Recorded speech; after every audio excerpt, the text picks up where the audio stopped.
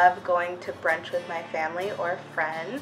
I really enjoy going on adventures. Um, we usually try to go to the beach or some museums um, or hang out just pretty local in the area. I love getting off campus. Um, that's one of my favorite things to do is going to get food with friends.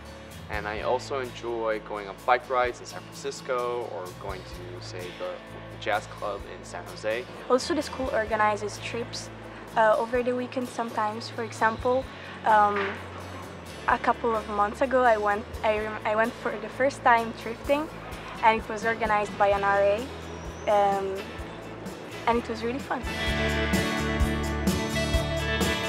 There's so much to do in this uh, area. One of my favorite things is to go out and eat, especially. So there's so many restaurants of all kinds, Thai, Burmese, Italian, um, you name it, they have it. And that's something definitely that's a big thing to do in this area. There are a lot of shopping places really close. For example, uh, Stanford Shopping Center and also San Francisco is pretty close. You also have the beach about 20, 30 minutes away. Um, and for longer weekends, there's definitely room for road trips. Um, a lot of people can go to San Francisco or even go hiking up in the Marin Headlands. Um, there's always sports events as well that are happening off campus, like there's the local Sharks hockey team.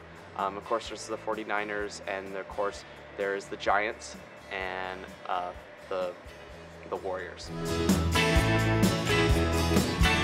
During the first semester, I used to walk a lot, and, and, for, and to reach places that were more far, I used to get Uber. Uh, to go to San Francisco, uh, there is the train station, which is walking distance. I also use Uber or Lyft, um, and if I want to get to the city without a, a car, I just Caltrain. And Caltrain is really useful along with the BART system. We also have Zipcar, which is right here on campus, and Zipcar is great to rent for um, local drives. And also the bus. The bus is a great resource as well.